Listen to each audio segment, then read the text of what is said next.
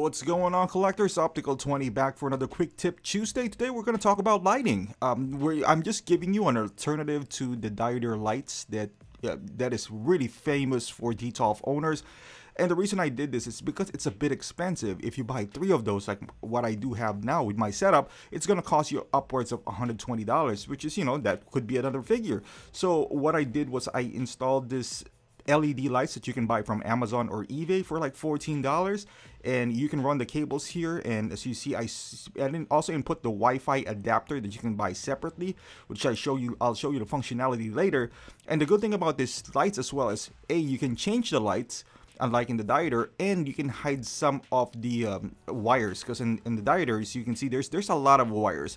Although you can manage it and store it somewhere else and, and like, tuck it in nicely uh, the ability to change colors would was the deal breaker for me.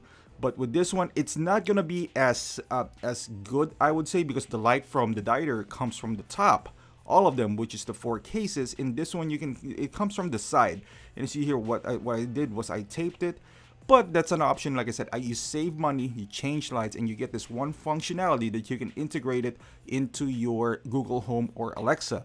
So that is one nice feature that you have you know outside of saving money at least but it's also bright it's nice it's i would say cleaner in terms of wires because it doesn't have too many and i'll show you the functionality with google home. Okay google turn on the display lights turning two lights on.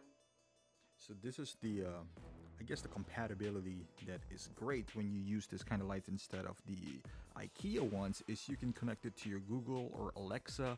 You just gotta buy that Wi-Fi adapter and you can turn it on and off by command and even do different um, commands like, okay Google, change the display lights color to red.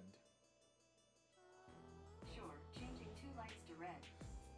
Okay Google, turn off the display lights.